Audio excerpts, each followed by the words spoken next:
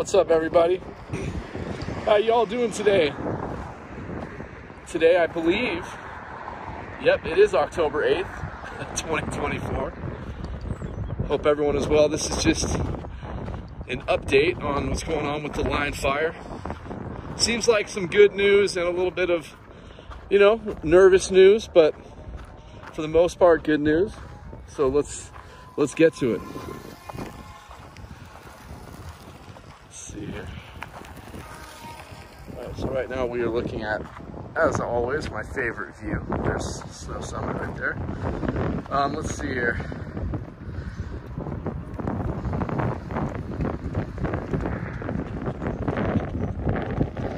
Okay, so Seven Oaks back down to evacuation warning instead of a mandatory evacuation, which is great.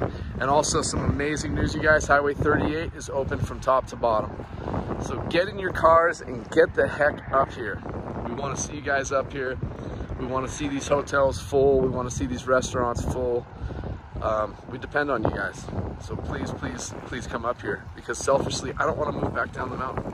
So without you guys coming up here, uh, you know, it's important you guys come up here. So anyway, the most current in information was put out two hours ago. So along Siberian Creek, crews successfully controlled hotspots with the help of aerial resources. Aircraft were used to extinguish hotspots in the Miles Creek area at the northern Santa Ana River drainage.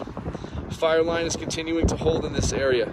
Firefighters continue construction dozer lines and conducting backhaul operations.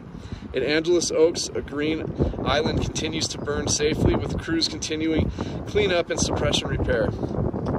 Demobilization of some crews and resources will be happening over the next few days. Crews that will remain will be focused on suppression repair as well as the direct and indirect line construction. The north and south repair groups are focused on the road grading and clearing operations. Winds have become more active with gusts reaching up to 25 miles per hour. Wind patterns will remain variable throughout the day, with particular gust potential near the Big Bear Airport. The forecast indicates temperatures will drop by 5 degrees in the coming days, but the wind remains the primary concern for the fire activity. Inaccessible areas at the, at, at the confluence of Bear and Siberia Creeks are susceptible to slope reversals due to the continuing dry, hot weather patterns. Fire conditions remain challenging as the energy release component, ERC, has reached the 95th percentile, indicating that the fire is primed for heightened activity. So, as you guys heard, there's good news and a little nervous news, but they're expecting, you know, possibly it to get a little out of control in some areas. Um, but obviously, they're dozing a whole whole bunch of areas in preparation for this is what I got from that.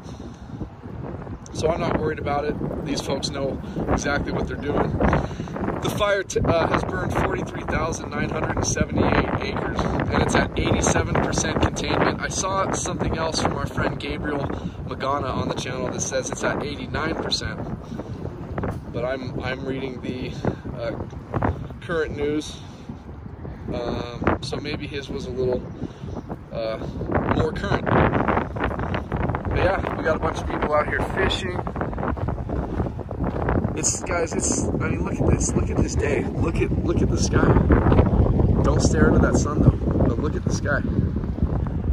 It is an absolutely perfect day up here. Our town receives over 300 days of sunshine every single year.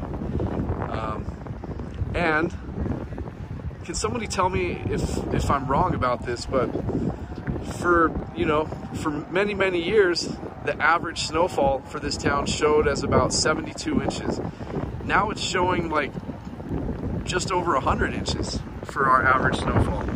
So if somebody could help me out with that, I would really appreciate it. Yeah, let's uh, let's take a walk over here.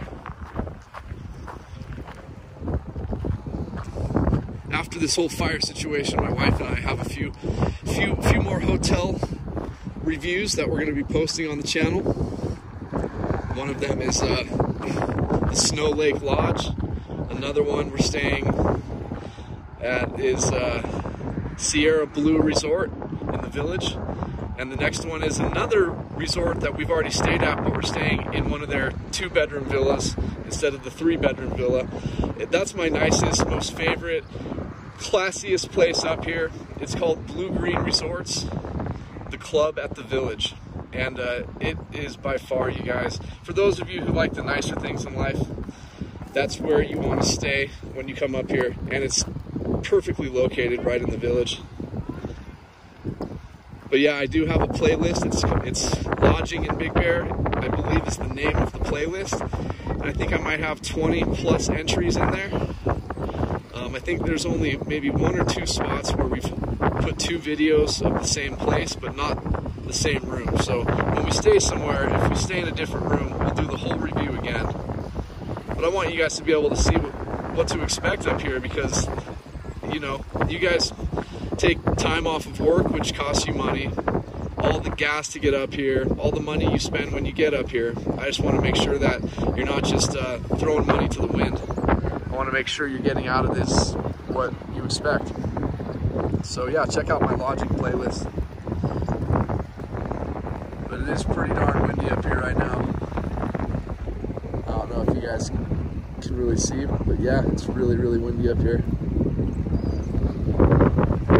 thanks again for all the support. Um, I, am probably going to be doing these updates every other day now because there's just not, you know, much to update.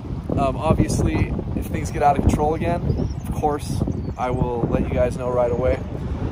But as things keep on getting better and better, just know that the every other day updates is a good thing. Oh my gosh. Look guys, your own little private beach spot. Throw down a towel right there and just be chilling like villains. Yeah, anybody ever have any questions about anything, especially our weather up here and as I said, our lodging and things to do, don't hesitate to, to ask. I'm always here for you guys. As I said at the beginning of the video, we need you guys to come up here we need you guys desperately. This is one of the only bastions of uh, of just peace and harmony left in Southern California. It's still, for the most part, really clean and uh, yeah, just a good place.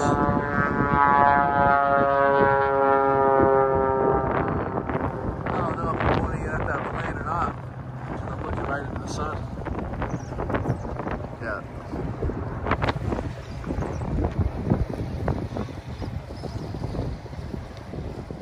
Gosh, it's just so beautiful. I mean, look at that. Look at that ski resort. All right, y'all. Well, thank you again for all the support. Thank you guys again for wanting me to be doing these updates. I can't believe how, how many of you have wanted me to continue doing this. So that's really, really cool. I appreciate it. I probably would have stopped a long time ago. But yeah, you guys take care. I will talk with you all later. I'll see you in two days. Peace out and uh, fingers crossed for continued even better news.